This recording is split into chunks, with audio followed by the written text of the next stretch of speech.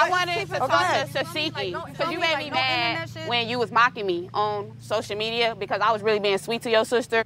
And you know, I have a genuine side. Your begging ass over there. I want to hug you. I'm gonna give you a hug. Hug you. I'm gonna give you a hug. I'm gonna give you a hug right now. The mocking, it was intentionally like what a sister would do. You feel me? Mm-hmm. Defending a sister. I don't know if you heard what's been going on, but I didn't got chumped by my sister. I didn't defend her for a bunch of shit that I shouldn't have. Feel Well, you've been in the house with me. You've been around me. Have I tried to jump you? No. So Same can thing I, I with so can I everybody get in an this house. apology Can you can you get an apology from me? Mm-hmm. For what? for mocking me? I just told you what. Hold on, hold it.